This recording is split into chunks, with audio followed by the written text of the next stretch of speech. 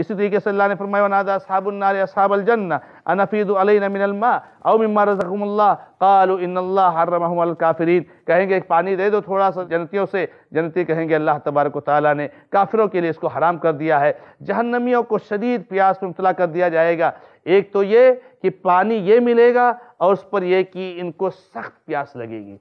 سخت پیاس میں مبتلا ہوں گے۔ ایسا بھی نہیں کہ پیاس نہیں لگ رہی ہے۔ پیاس بہت لگے گی، چونکہ عذاب اور آگ اور گرمی اور سختی اور تکلیف اور پریشانی اور چیخنا اور چلانا، تو ظاہر سی بات ہے سے پیاس انسان کو بہت محسوس ہوگی۔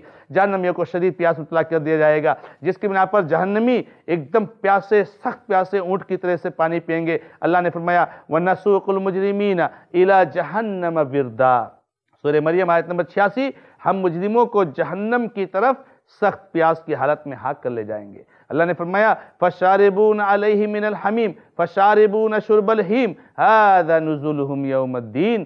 یہ لوگ اس کھانے پر گرم پانی پئیں گے اور اس کو جیسے سخت پیاس سے اونٹ اور اٹھنی کی طرح سے پئیں گے۔ ایسا بھی نہیں کہ نہیں پئیں گے۔ پینا ہی ہے، سخت پیاس لگی ہوئی ہے۔ اللہ نے فرمایا ان کی مہمان نوازی ہے۔ اسی طریقے سے کھولتا ہو گرم پانی پینے کے علاوہ ان کے سر پر بھی ڈالا جائے گا۔ یہ پانی ان کو پلایا جائے گا، جو ان کی اتریوں کو کاٹ کر رکھ دے گا اور سر پر بھی کھولتا ہوا پانی ڈالا جائے گا۔ آدمی کو گرمی لگتی ہے تو ٹھنڈے پانی سے نہا لیتا ہے، فریش ہو جاتا ہے، جس سے ان کی کھال اور چربی گرم پانی سے اور پیٹ کے اندر کے آتے کلیجہ اور دل، گردہ سب کو جل جائے گا۔ اللہ نے فرمایا، اس اسبو من فوق رؤوسهم الحمیم یسحر به ما فی بطونهم والجلود سورہ حج آیت نمبر انیس بیس میں اللہ نے فرمایا کہ ان کے سر کے اوپر سے گرم پانی کو ڈیلا جائے گا ولیاز باللہ گرم پانی پینے کے لیے اور یہ زقوم کا درد کھانے کے لیے اور گرم آگ کا عذاب اور اس کے بعد سر کے اوپر سے گرم پانی ڈالا جائے گا، جس سے ان کے پیٹ کے اندر موجود ساری اتنیاں کلیجے، گردے اور دل،